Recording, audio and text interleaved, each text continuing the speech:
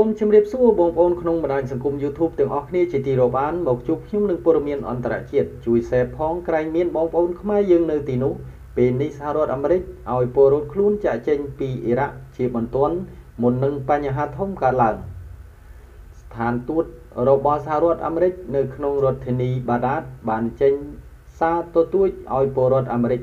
ទាំងអស់ ដែលកំពុងស្ថិតនៅក្នុងប្រទេសអ៊ីរ៉ាក់ឲ្យនាំគ្នារុះរាន់ធ្វើដំណើរចាកចេញពីអ៊ីរ៉ាក់ជាបន្ទាន់ការព្រួយបារម្ភថាអាចមានបញ្ហាធំកើតឡើងក្រោយយោធាអាមេរិកបានធ្វើសកម្មភាពវាយប្រហារតាមផ្លូវអាកាសដែលបានផ្ដាច់ជីវិតមេទ័ពកំពូលរបស់អ៊ីរ៉ង់និងអ៊ីរ៉ាក់នៅក្បែរអាកាសយានដ្ឋានអន្តរជាតិទីក្រុងបាដាតនេះបើតាមការដកស្រង់ ការផ្សាយចេញពីភ្នាក់ងារសារព័ត៌មាន Reuters នៅរសៀលថ្ងៃសុក្រទី3ខែមករាឆ្នាំ2020ស្ថានទូតអាមេរិកប្រចាំនៅអ៊ីរ៉ាក់បានចេញសេចក្តីថ្លែងការណ៍មួយយ៉ាងដូចនេះថាពលរដ្ឋអាមេរិកទាំងអស់គួរតែចាកចេញពីប្រទេសអ៊ីរ៉ាក់តាមជើងហោះយន្តហោះបើអាចធ្វើទៅបាន ហើយបើមិនអាចទេនោះគឺ គួរចាកចេញទៅកាន់ប្រទេសដទៃទៀតតាមផ្លូវគោកក៏បានខណៈការវាយប្រហាររបស់អាមេរិកបានកើតឡើងនៅក្បែរអាកាសយានដ្ឋានអន្តរជាតិក្រុងបាដាតក៏ដោយ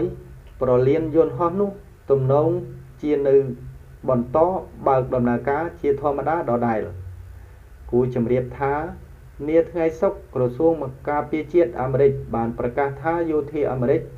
ក្រោមការបញ្ជាដោយផ្ទាល់ពីលោកដូណាល់ ត្រាំ បានដឹកនាំប្រតិបត្តិការវាយប្រហារតាមផ្លូវអាកាសមួយនៅក្នុងទឹកដីអ៊ីរ៉ាក់ ដែលមានគោលដៅផ្ដាច់ជីវិតមេតបកំពូលអ៊ីរ៉ង់ម្នាក់គឺលោក កាសេម ស៊ូឡៃមេនី ហើយប្រតិបត្តិការនេះបានប្រព្រឹត្តទៅដោយជោគជ័យនៅក្បែរប្រលានយន្តហោះអន្តរជាតិ នៃទីក្រុងបាដាតសូមអរគុណបងប្អូនទាំងអស់គ្នា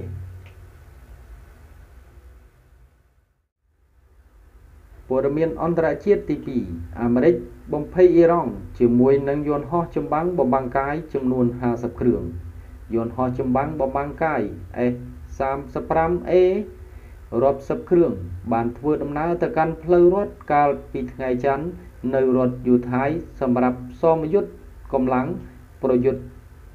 1យន្តហោះចម្បាំងចំនួន52គ្រឿងត្រូវបានគេប្រើក្នុងសមយុទ្ធភារកិច្ចសកម្មនិងស្លាប់ប្រយុទ្ធ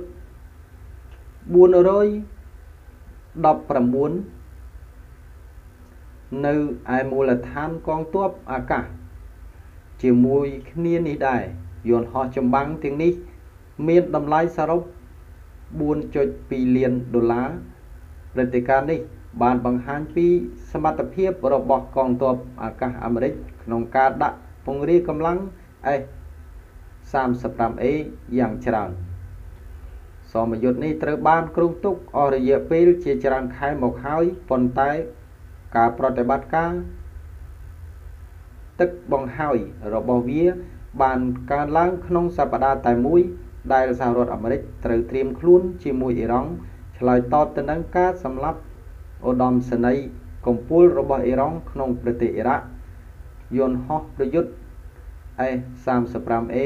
នីមួយៗមានតម្លៃប្រហែលជា89.2លានដុល្លារ ហើយសហរដ្ឋអាមេរិកបានទទួលយន្តហោះ S35A លើកដំបូងរបស់ខ្លួននៅឯមូលដ្ឋានទ័ពអាកាស Hill កាលពី4ឆ្នាំមុន ចាប់តាំងពីពេលនោះមកក្រមប្រតិបត្តិការបានបណ្ដុះបណ្ដាលអ្នកបើកយន្តហោះ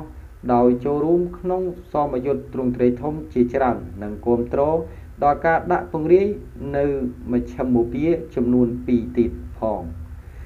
អាមេរិកក៏បានបញ្ជាក់ដែរថានេះគ្រាន់តែជាការចាប់ផ្ដើមប្រតិបត្តិការប្រយុទ្ធ S35A ប្រកបដោយ ចីរភាពហើយយើងនឹងនៅតែបដោតការយកចិត្តទុកដាក់ក្នុងការត្រៀមខ្លួនគ្រប់ពេលនិងគ្រប់ទីកន្លែងដែលយើងត្រូវការ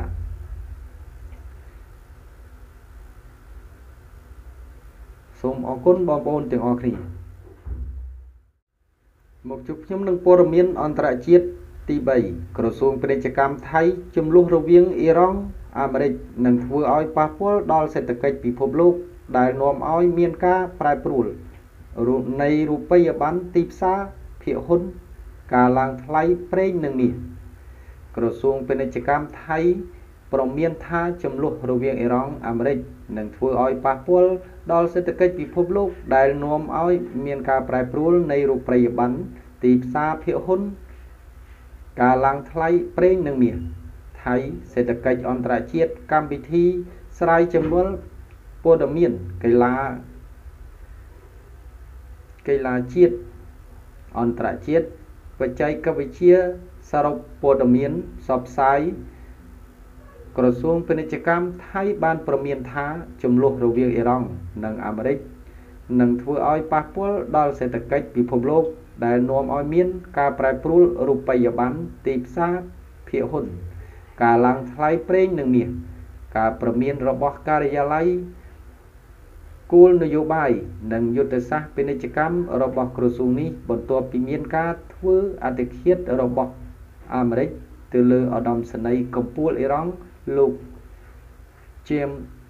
Soleimani កាលពីថ្ងៃសុក្រទន្ទឹមនឹងនេះដែរឧបទ្ទវហេតុនេះនឹងជះឥទ្ធិពលដល់ម៉ាក្រូសេដ្ឋកិច្ច និងបណ្ដាលឲ្យមានការប្រែប្រួលរូបិយប័ណ្ណនិងទីផ្សារភាគហ៊ុនធ្វើឲ្យវិនិយោគិន ដែលកាន់កាប់ទ្រព្យសម្បត្តិមានហានិភ័យនិងតម្លៃមាសឡើងថ្លៃ ជាលទ្ធផលគិតមកដល់ពេលនេះតម្លៃប្រេង បានកើនឡើងជិត4%តាំងពីថ្ងៃសុក្រមកហើយទំនងនឹងបន្តកើនឡើងថែមទៀតប្រសិនបើមិនមានស្ថានភាពធូរស្បើយ មិនតែប៉ុណ្ណោះក្នុងរយៈពេលមុតជុំនិងវែងឧបទ្ទវហេតុនេះនឹងជះឥទ្ធិពលអវិជ្ជមានដល់ចំណុចចិត្តរបស់វិនិយោគិននិងប៉ះពាល់ដល់សេដ្ឋកិច្ចពិភពលោកទោះជាយ៉ាងណាក្តីសេដ្ឋកិច្ចពិភពលោកទាំងមូលគួរតែប្រសើរឡើងពីឆ្នាំទៅដោយផ្អែកទៅលើកាតាវិជ្ជមានរួមទាំងវឌ្ឍភាព វឌ្ឍនភាពនៃសេដ្ឋកិច្ចព្រមព្រៀងពាណិជ្ជកម្មរវាងចិននិងសហរដ្ឋអាមេរិករួមទាំងវិធានការជំរុញសេដ្ឋកិច្ចនៅក្នុងប្រទេសជាច្រើនប៉ុន្តែប្រសិនបើអ៊ីរ៉ង់និងអាមេរិកសងសឹកគ្នាទៅវិញទៅមកហើយច្រកសមុទ្រត្រូវបានបិទតម្លៃប្រេងនឹងកើនឡើង ហើយការដឹកជញ្ជូនទំនិញនឹងរងផលប៉ះពាល់ដោយប្រហែល20%នៃការដឹកជញ្ជូនតាមសមុទ្រទូទាំងពិភពលោកត្រូវឆ្លងកាត់ តាមច្រកសមុទ្រនេះសូមអរគុណបងប្អូនទាំងអស់គ្នារាល់ការតាមដានទស្សនាវីដេអូរបស់ខ្ញុំបាទសូមកុំភ្លេចជួយចុច Subscribe និងរូបកណ្ដឹងដើម្បីទទួលបានវីដេអូនិងព័ត៌មានថ្មីៗជាច្រើនទៀតសូមអរគុណសូមជម្រាបលាមកជួបខ្ញុំនឹងព័ត៌មានអន្តរជាតិបន្តកាន់តែក្តៅឡើងហើយបន្ទាប់ពីការវាយប្រហារពីរលើករបស់អ៊ីរ៉ង់ស្លាប់ជាង80នាក់ ខណៈនេះយន្តហោះចម្បាំងទំនើបទំនើបបានចេញពីទឹកដីអាមេរិកហើយបើតាមប្រភព website បានបញ្ជាក់ថានៅមុននេះបន្តិចយន្តហោះចម្បាំងល្អផុតលេខរបស់អាមេរិក S35A 6គ្រឿងរបស់អាមេរិកបានហោះចេញពីមូលដ្ឋានទ័ពនៅ UAE ហើយសម្ដៅទៅកាន់ប្រទេសអ៊ីរ៉ង់ព្រឹកមិញនេះអ៊ីរ៉ង់ ការសងសឹកអាមេរិកដែលសម្លាប់មេតូកំពូលរបស់ខ្លួនកាលពីថ្ងៃសុក្រកន្លងទៅនោះបានបាញ់មីស៊ីល10គ្រាប់ទៅកាន់មូលដ្ឋានទ័ពរបស់អាមេរិកពីនៅទឹកដីអ៊ីរ៉ាក់បណ្ដាលឲ្យមានការខូចខាតប៉ុន្តែមិនទាន់មានអាចវាយតម្លៃបាននោះទេតែមនុស្ស30នាក់ស្លាប់និង60នាក់រងរបួសរហូតដល់មនុស្ស មុននេះបន្តិច អ៊ីរ៉ង់បានវាយប្រហារលើទី2តែមិនទាន់ដឹងការខូចខាតតំបន់នេះ បើតាមការចេញផ្សាយដោយសារព័ត៌មាន ថ្ងៃពុធទី8ខែមករាឆ្នាំ2020លោកត្រាំបានកោះហៅប្រជុំជាបន្ទាន់ចំពោះទង្វើរបស់អ៊ីរ៉ង់នេះ ស្រាប់តែមុននេះបន្តិចមានដំណឹងមកថាយន្តហោះចម្បាំងល្អផុតរបស់ដែលទុកនៅ UAE នោះបានចេញប្រតិបត្តិការទៅបាត់ទៅហើយគេឃើញមានយន្តហោះ A35A 6គ្រឿងបានហោះចេញពីមូលដ្ឋានទ័ពរបស់អាមេរិកនៅក្នុងប្រទេសអារ៉ាប់មួយនេះក្រុមអ្នកវិភាគមើលឃើញស្ថានភាពកាន់តែក្តៅឡើងហើយនឹងផុស ផុយស្រួយបំផុតក្នុងការឈានទៅរកសង្គ្រាមក្នុងតំបន់សូមអរគុណបងប្អូនទាំងអស់គ្នារាល់ការតាមដានទស្សនាវីដេអូរបស់ខ្ញុំបាទសូមកុំភ្លេចជួយចុច Subscribe និងរូបបណ្ដឹងដើម្បីទទួលបានវីដេអូនិងព័ត៌មានថ្មីៗជាច្រើនទៀតសូមអរគុណសូមជម្រាបលា